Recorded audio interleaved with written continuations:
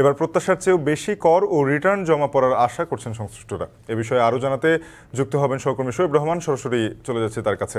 শোয়েব, জানাবেন যে গত বিশ দিনে কেমন সারা ছিল আয়কর সেবা গ্রহণে, কি পরিমাণ কর আদায় হয়েছে?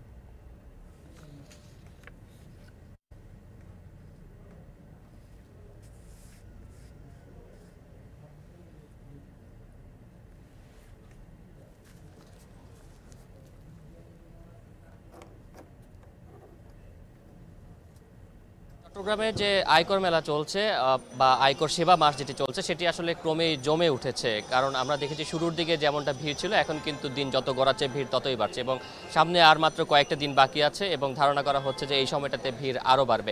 এবং আয়কর যারা কর্মকর্তা রয়েছেন, তাদের সাথে আমরা কথা বলেছি। তারা বলছেন যে এবার তারা যেটি প্রত্যাশা করেছেন, তার চেয়ে হয়তো বা বেশি তারা কিন্তু আয়কর আদায় করতে পারবেন এবং আয়কর আদায়ের চেয়ে তারা বেশি উদ্বুদ্ধ করছেন যাতে নতুন যারা আয়করদাতারা রয়েছেন, তারা যাতে টিআইএন সংগ্রহ করেন এবং তারা যাতে রিটার্ন দেন। এবং আমরা দেখেছি যে অর্থাৎ গতকাল পর্যন্ত সর্বশেষ যে- তথ্যটি আমার কাছে রয়েছে সেটি হচ্ছে চট্টগ্রামের যে চারটি কর অঞ্চল রয়েছে সেই চারটি কর অঞ্চল এখন পর্যন্ত আয় করা আদায় হয়েছে পঁয়ত্রিশ কোটি আটষট্টি লক্ষ আটষট্টি লক্ষ ষাট হাজার টাকার বেশি।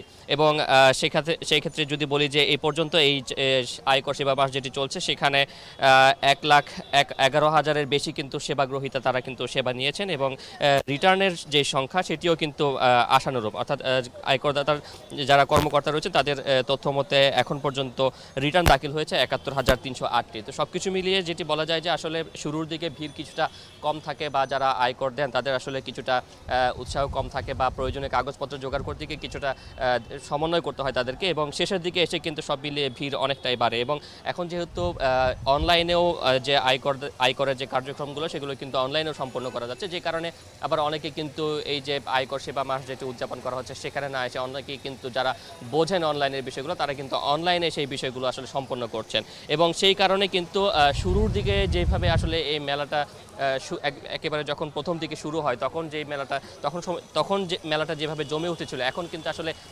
বলা যায় যে মানুষ মেলাও, মেলাতেও না এসে তারা অনলাইনের মাধ্যমে কিন্তু অনেকে আসলে দিচ্ছেন। এবং আমরা যদি বলি যে গত বছরে কিন্তু প্রায় পাঁচশো কোটি টাকার মতো এই যে আয়কর সেবা মাস যেটি হচ্ছে, সেটিতে পাঁচশো কোটি টাকার মতো কিন্তু তারা আয়কর আদায় করেছিলেন। এবং আমরা দেখেছি যে আসলে করোনার আগে কিন্তু বড় পরিসরে মেলার আয়োজন করা হতো। এখন কিন্তু প্রতিটি কর অঞ্চলের অফিসে আসলে তারা পৃথক পৃথক বুথ স্থাপন করে তারা এই যে আয়কর সেবা মাস যেটি, সেখানে আয়করদাতাদের সেবা দিয়ে আসেন।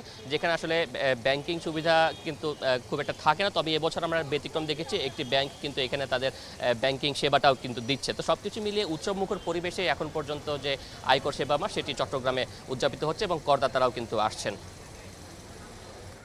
চট্টগ্রাম থেকে আয়কর তথ্য সেবা মাসের বিস্তারিত জানাচ্ছিলেন সহকর্মী শোয়েব রহমান।